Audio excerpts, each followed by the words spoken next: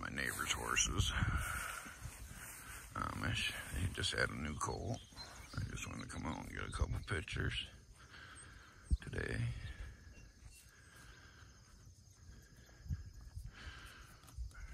He's new this year. Mom, dad, and baby.